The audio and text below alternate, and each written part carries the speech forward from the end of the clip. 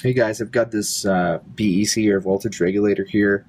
Uh, these are available on my website and they are actually adjustable.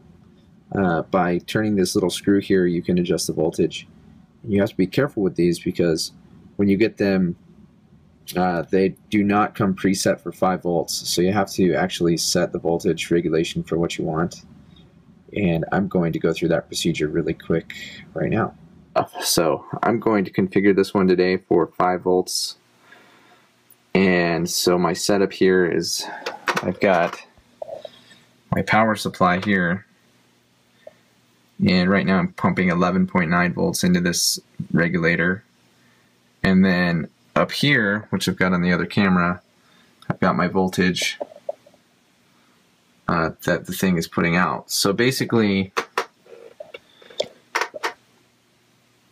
Uh, what you need to do is supply this thing with your battery voltage, some kind of voltage. Make sure you're doing this on a non-conductive surface. And you can just take your screwdriver here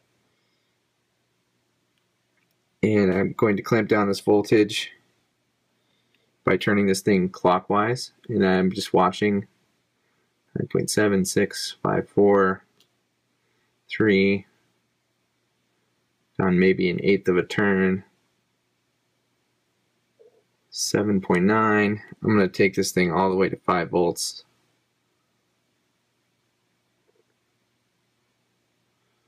Okay, too far. Back it up just a hair. It's, it's barely any adjustment at all. 5.013. I think that's as close as I'm going to get. So, Uh, you need to be careful when you do this not to short anything out, obviously. And uh, let's take a look at this thing on the scope and see what it looks like on its output. Okay, so I've got this oscilloscope connected up to this guy. And, you know, there's no load strapped across here, so this isn't going to give us the truest trace. I might do that here in a minute. But you can see I've got zero volts on the scope right now. And when I turn on the power. Scope jumped up to 5 volts and just a nice clean trace across here.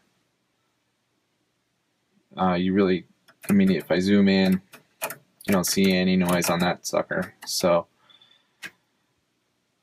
uh, just a nice clean DC output on this thing.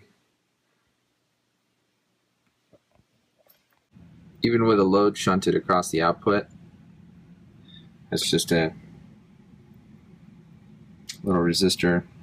Uh, you can see that there's still just no noise at all on the output of this guy. It's just a nice solid clean 5 volts. So one thing I want to show you with this is right now it's at 10.5 volts but it's outputting 5.02. I'm going to turn up the voltage and if you watch here there's no change on my output. It's still at 5.02 volts up to 12 volts. Get up to a fully charged battery. Still just real, real solid voltage. I mean, down to the thousandth of a volt. So go up to 14 and still got some good solid regulation. So uh, this thing is important. Uh, you can see how just having a solid voltage uh, coming out of your um, voltage regulator into your flight controller can really make a huge difference. Um, it gives you clean power makes your flight controller work better and this is the thing you need is the micro BEC from quadquestions.com. One other thing on this BEC is that on the bottom of it, it shows you where the input voltage and where the output voltage is.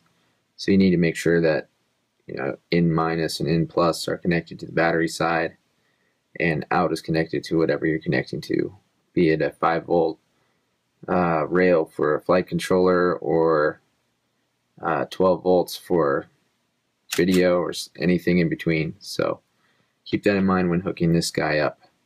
Anyway, that's the BEC uh, that I sell on my website, and I highly recommend it. It's just a really, really nice uh, voltage regulator.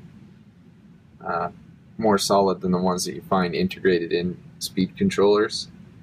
And I'm just very happy with it. Uh, and that's why I sell it. So, hope that helps. Make sure to set the voltage before you put it on your quad, and you should be all set.